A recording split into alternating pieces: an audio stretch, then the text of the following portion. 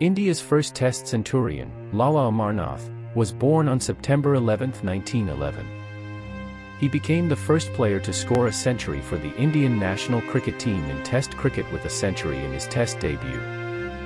He served as the first cricket captain of independent India. In 1991, the Indian government presented him with the Padma Bhushan, a civilian honor. Given that contemporaries like the two Vijay's, Merchant and Hazare, were much more prolific run machines, Amarnath never replicated his debut performance, and it's possible that his stats don't always accurately reflect his lofty status in Indian cricket. Amarnath's versatility as a bowler, his capacity for leadership, and his capacity to occasionally don the gloves of a wicketkeeper, however, solidify his place among India's early greats. He played in 24 test matches, amassing 878 runs at a 24.38 average, including his first century and four half-centuries. He made up for this, though, with his effective medium-pace bowling, which led to 45 wickets at 32.91. Nanak Amarnath Bharadwaj was born on September 11, 1911, and only later acquired the Punjabi honorific Lala. He is from Kapurthala, and when his mother passed away, he was moved to live with his grandfather in Lahore. According to British journalist Peter Oborne, Tawakkul Majid, a member of the aristocratic Rana family of Lahore, was the one who first discovered Amarnath there.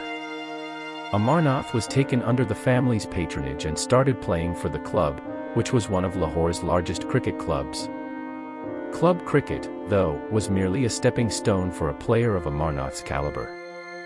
Frank Tarrant, an Australian who worked as the Maharaja of Patiala's cricket coach, soon took note of him. He gave Amarnath's employer his recommendation, and Amarnath soon began playing for the Maharaja's squad.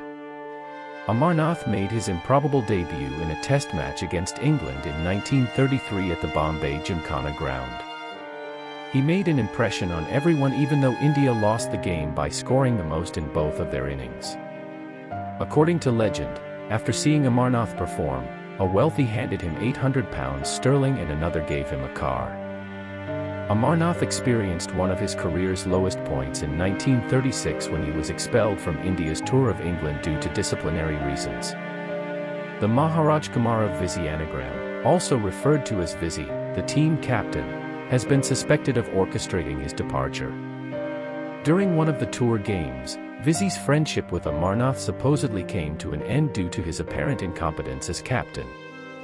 According to reports, Vizzy ordered an ailing Amarnath to pad up during a game, preventing him from taking a break, and then sent a slew of other batters ahead of him. Just a few minutes before the game's end, Amarnath was finally sent out. Amarnath is alleged to have whispered in Punjabi as he entered the dressing room, I know what is transpiring. Major Jack Brittain-Jones, the team boss, soon informed Amarnath that he was being returned home. Amarnath was cleared of all allegations made by the manager and captain by a committee that was later formed to look into the incident. Lala Amarnath had quoted once, the most disappointing event was being sent back home before the test series began on the 1936 tour.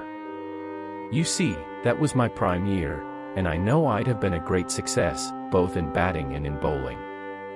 I must also say that, during my test career, we had the best team in 1936, but the worst captain.